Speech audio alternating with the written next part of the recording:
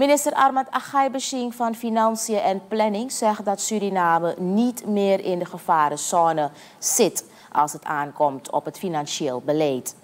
Indien de regering op dit moment ervoor zou kiezen om alle schulden volgens afspraak af te lossen, dan zouden er geen salarissen kunnen worden betaald, geen investeringen kunnen worden gepleegd en ook geen subsidies worden verleend, legt de financiën-minister uit.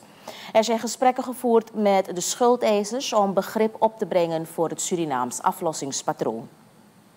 De benchmark die gebruikt wordt voor een gezonde internationale reserve is ongeveer acht maanden import. Daar zijn we nog niet.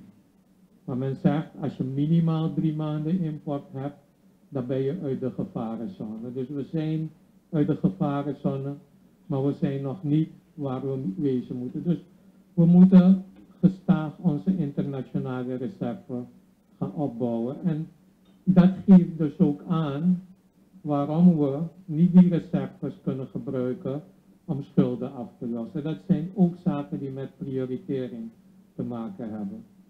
Geef je de voorkeur aan schuldeisers, en ik ga het zeggen, die mede door hun beleid ook Suriname een beetje in problemen gebracht hebben, in grote problemen gebracht hebben?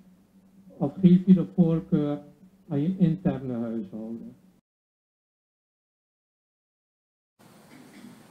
Agay stelt dat er blijvende voorkeur zal worden gegeven aan interne aangelegenheden.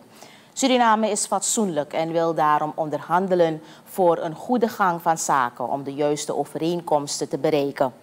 Er wordt een internationale reserve opgebouwd om de leningen bij de schuldeisers af te lossen.